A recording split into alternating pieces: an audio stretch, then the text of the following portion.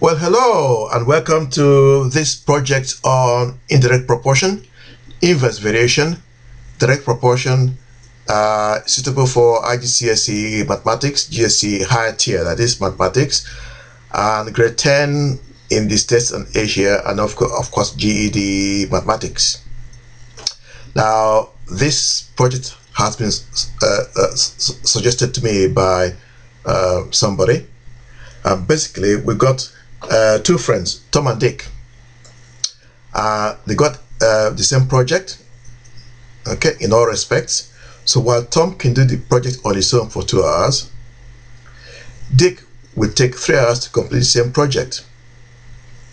Now the question now is, if Tom and Dick combine to do the same project, assuming that Tom and Dick work at the same rate and do not get in each other's way, if they're not combined, how long would it take them to finish the same project? Right. Now, before we uh, carry on, can you have a look at the annotation below, please? Basically, YouTube thinks that I've been asking robots to click on my videos. So what happens, they, they then um, reject the video and, and then up, upload the video again in which case the view figures drop to zero. So do not let the view figures um, matter so much. It, that doesn't matter at all. So ignore the view figures for now. Anyway, there we go. Right, moving on. Uh, there are two methods for doing this. You got the arithmetic or the numeric method there, or the algebraic method there. Now, we look at it this way. Have a look at the in the first hour or so now, for the first hour, you can assume that Tom will have finished half of the work. Yeah. And that Dick will have finished one third of the same job. So now we have that uh, the amount of work done by both combined will be a half plus a third. Now, in equivalent fraction terms, that becomes 3 over 6 plus 2 over 6 uh, which gives us 5 over 6. So, 5 sixths of the job uh, will have been done in 1 hour. Therefore, the whole job, if you like, 6 over 6, being pedantic here, will be done in 6 over 5 hours, which is equivalent to 1 hour and 12 minutes. Now, for the algebraic method, now, at the end of this method, there is a puzzle for you to do at the end. So hopefully you you'll be patient enough to you know watch to the end. Right. Now for the algebraic method, we're looking at um, distance, speed, and time. Very similar indeed.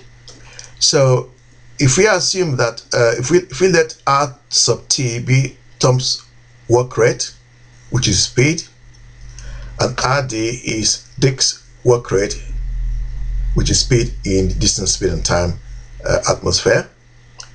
And time is time. Now the distance will be equivalent to the work done, W. And speed times time will give you distance. So RT times the time will give you the work done. So we have uh, 2R sub T is equal to W, whilst 3R sub D is equal to uh, work done by Dick this one here. So we then have that 2 r sub t is equal to 3r sub d. Uh, oops, I'm not sure why, I'm not sure why I've, I've got that repeated, but never mind. So rt, uh, r sub t will be 3 over 2 r sub d. Now, if they don't combine to work together, now r sub t times t plus r sub d times t will give us the amount of work done. t being the combined time when both work together. So when you factorize, you end up with this. Now, meanwhile, do not forget that RT is 3 over 2 RD. So we then have uh, 3 over 2 RD plus RD. Now, do not forget also that R3, 3 R sub D is equal to the amount of work done, which is there. Now, if you combine what's in the bracket there, that becomes 2 and a half, which is 5 over 2.